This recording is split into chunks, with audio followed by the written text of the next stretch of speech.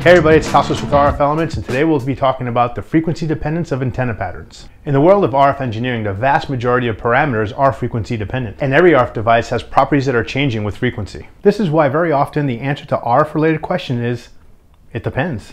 Understanding the simple and sometimes very complicated facts is what RF engineers are paid for. Let's have a look at how frequency influences the properties of an antenna. The gain of an antenna in a datasheet is usually a single number, which is the peak gain at a particular frequency, which is rarely disclosed. The truth is, the gain of an antenna changes with frequency and with angle. Describing gain as a single figure is just not enough. Back in time, when computers were weak, scientists displayed gain in two-dimensional polar plots because they are easy to draw on paper.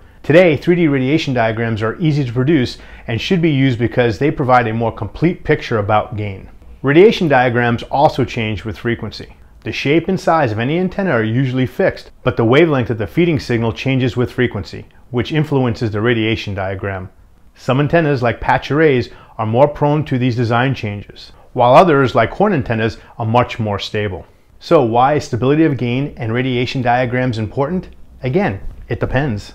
Some antennas are used in a narrow bandwidth, so the frequency stability is not as important. Because most common antennas have stable performance over narrow frequency ranges, it is fairly easy to design a narrowband antenna. To achieve stable performance over a wide bandwidth is a real challenge, especially if you want an antenna that has a stable peak gain and the rest of the radiation diagram simultaneously. In wireless networking, for example, wideband performance, stability of gain, and radiation patterns of sector antennas are really important because of the quality of delivered services directly depends on these parameters. For more interesting topics on RF and antennas, check out our future videos.